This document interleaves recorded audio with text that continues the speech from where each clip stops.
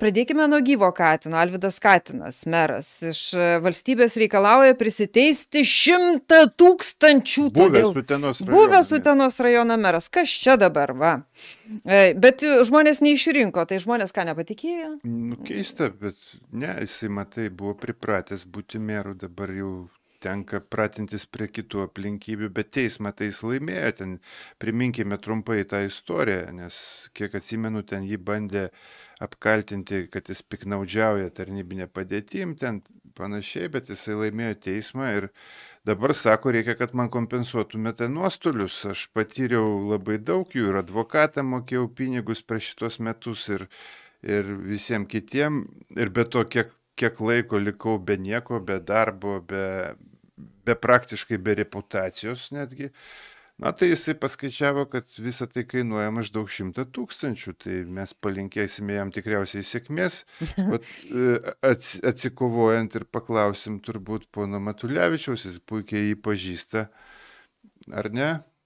Kaip jums sekėsi su juo bendrauti? Aš, aš tikrai pažįstu, jis gal ir neatsimena, bet mano vienas straipsnis Utenos laikraštyje praktiškai davė impulsą jam tapti meru ir žinoma, aš negalvojau, kad jisai daugiau kaip 20 metų to meru išbus, e, kadangi 20 metais aš išsirinko. Kiek, kiek 20 metų sakot?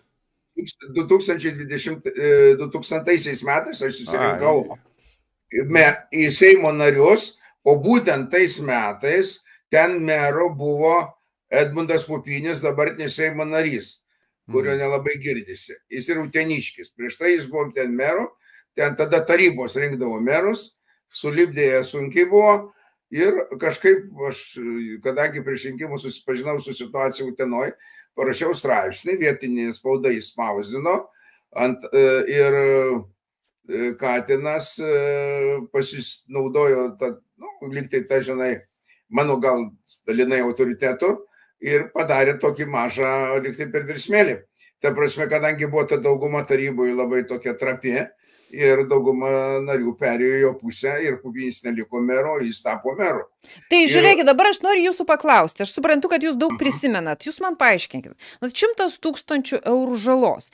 Tai pirmą reikėjo, per uh, jį 21, aš nežinau, kada jį ten suėmė, ta prasme apkaltino, bet čia turėjo keli metai uh, trukti, 3-4 metai. Penkis metus truko. Pe, penkis metus bilinėjimasis, ne?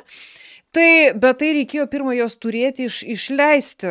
Va tie šimta tūkstantinė žala. Ne, ne, jis jų neišleido, jisai sako taip, kad aš patyriau. Rusija, aš tai paaiškinsiu. Visa situacija įvyko, kada premjeru buvo Algirdas Butkevičius. Taip. Algirdas Butkevičius tapo premjeru 2000, po 2012 e, metų rinkimų. Nu, 2000 pabaigoje. Reiškia, ir pasibuvo Žiukždinienė, teisingai aš atrodo partiją sakau, ir e, jo patarėja. Jis buvo iš tų kraštų, įsigijo ten sodybą ir paprašė mero, kadangi jie buvo partijos. Ai, čia ta žiūkždienė, žiūkždienė. Jei, jei ten sutvarkyti stogą tos jo sodybos. Ir mm. va už tai e, ST, čia panašu į čekiukų skandalą. Ir ST iškėlė jam bylą. Ir rezultatai įrodomoji bazė matyt buvo nevykusi kadangi rezultatė, nu, kad trumpinta informacija, jis liko išteisintas.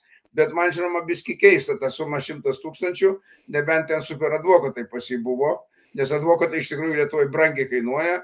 E, aš, aš kažkada sakau, o 100 eurų už valandą, nu jo, sako, netaip paprastai rasi. Nu, mhm. ar rasi tokį, su kuriuo nieko nelaimėsi. Viskas, žinokit, priklauso nuo to, kaip sugeba uh, mūsų teisėsaugos sistemoje uh, keikiam sovietmetį, bet praktiškai net geriau negu sovietmetį, kabutės šalia. Kad e, reikia prieiti prie visų veikėjų toj to, to, to grandinėliai.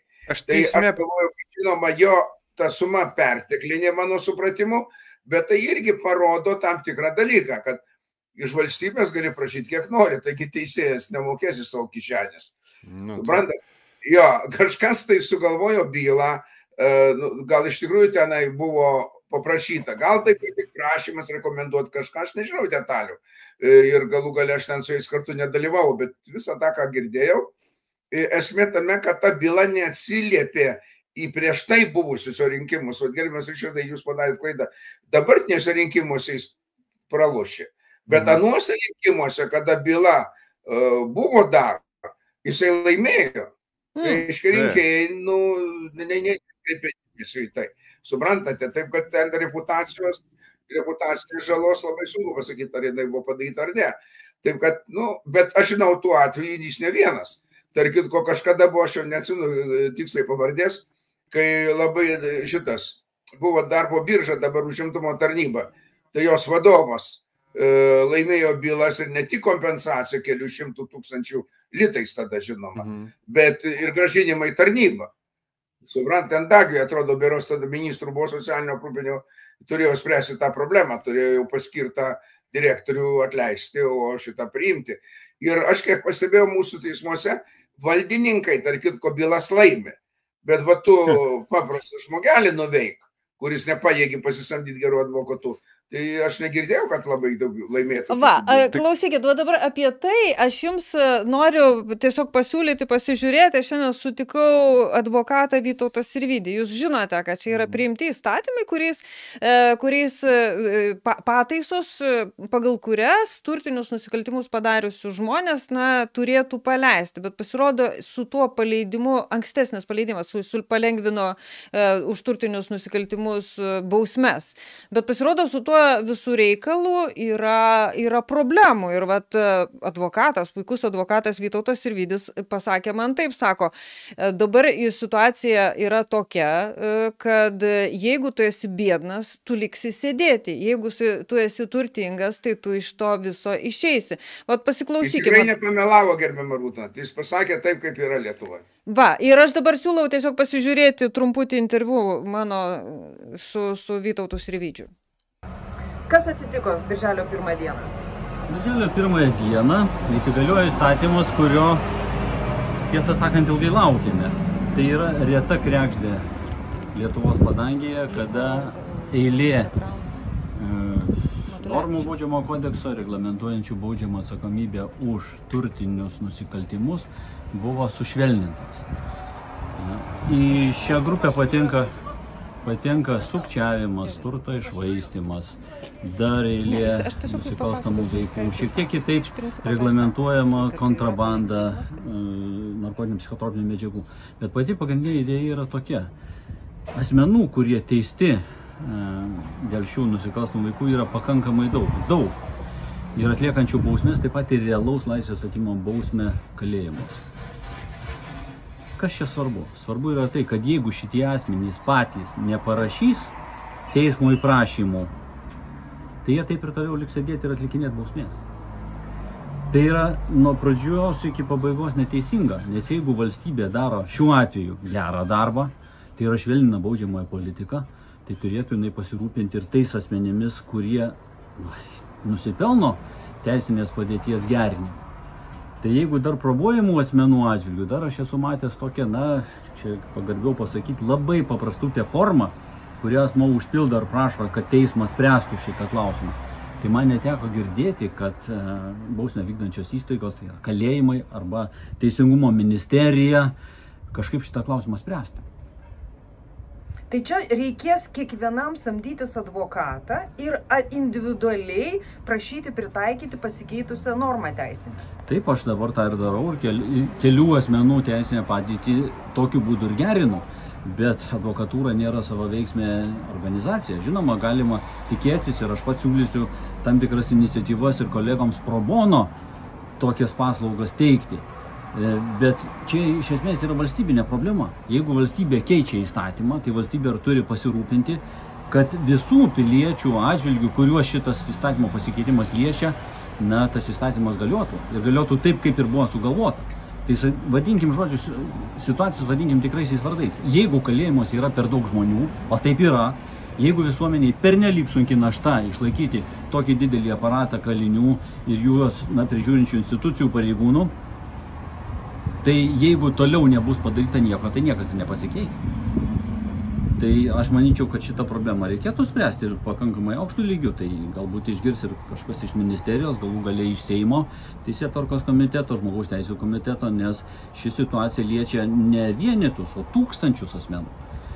Kiek atsimenu iš projekto svarstymo, tokių asmenų buvo berots gerokai virš tūkstančio, galbūt apie porą tūkstančių. E, dviejų tūkstančių įkalintų asmenų padėties sušvelninimas, o greičiausiai galbūt net ir paleidimas į laisvę yra svarbus dalykas, kuris vėl jis tai yra ne tik tai kalėjimų problema, ne tik bausmės vykdymo problema, bet ir socialinė problema. Juos reikės sutikti laisvėje, aprūpinti būstų, e, sukurti tokias sąlygas, kad jie nenusikalstų daugiau, tai yra svarbu.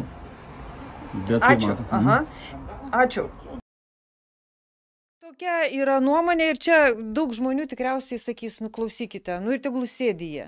Bet panašu, kad mūsų, mūsų kalėjimai yra perpildyti ir, ir va šitas... Tai mūsų ne tik kalėjimai šitą... perpildyti, mūsų teisėjai visi sako, kad jie baisiai nespėja, kad eilės didžiulės teismuose ten, kad kad visi ten juos trukdo, kad dabar pilna beje valstybės tarnybos portale, pilna skelbimų, ten jiem padėjėjų visokių reikia, nes jie nespėja su bylom. Tai aš siūlyčiau pagal advokato pasakojimą paprasčiausiai padaryti tokią tarifų lentelę, jeigu nori laimėti bylą, kažkokią, nu, pavyzdžiui, būtinė byla, to, tokią taksą tenai, kriminalinę, tokią, nu, ir, ir panašiai galima kitą lentelę sudaryti pagal bylų, pagal baudžiamąjį kodeksą tiesiog. Ai, laisvos rinkos principą. Taip, laisvos rinkos principų ir teisėjams darbo nebeliktų praktiškai. Galėtum palikti 2-3 ten tik tai neaiškius visiškai klausimus spręsti, o visi kiti atsipalaiduotų rankos, žmogus ateina, susimoka pinigus, laimi bylą ir visi patenkinti. O jeigu du yra besiginčinantis subjektai, nu tai ateini, padedi piniginę ant stalo, pas ką daugiau tas ir laimėjo, vat, ir viskas kaip kortose praktiškai pas mus vyksta. Nu, principė, tai labai gerai išrišėta išdėstė kapitalizmo sampratoje, kodėl ne? Taip, kodėl teisingumas negalėtų? Bet tada mes paikim aiškinti, kad mes gyvename teisinėje valstybėje. Mes tada aiškinkime, kad mes gyvenam laisvoje rinkoje ir viską nusprendžia, kiek tu turi pinigų. Laisvos rinkos finansiniai teisiniai valstybė gyvena. A, va, gerai. Labai gerai. Gerai, Patentuok. kolegos, labai, labai, aš manau, kad e, advokatas pakėlė labai, labai svarbią e, bylą. Ta prasme, teisingumas egzistuoja tiems, kurie turi pinigų. Ir mes nuo Katino neveltui pradėjom. Mm. Kai esi Katinas, Utenoje, kur ten ir, kaip ten pritelės, ten visokių reikalų. O, tenai, bet ten su pupiniu buvo buvusi. Su pupiniu, jo, su ten buvo reikalų. Jo padėjėjas buvo įsivėlęs ten. Į pedofilijos istoriją. Jo, ne tai, kad įsivėlęs, teistas ne, už tai. Ir, ir nuteistas net kas keiščiausia. Matyt, neparodė piniginės. No. Ne, ne, ne, ne, šiuo atveju ten nemaišykit. Ten buvo Kaižauskas iš konservatorių partijos, ten padėjėjas Kaižauskas buvo popinio padėjėjas. Taip, taip, taip, tai mes tą ir sakom.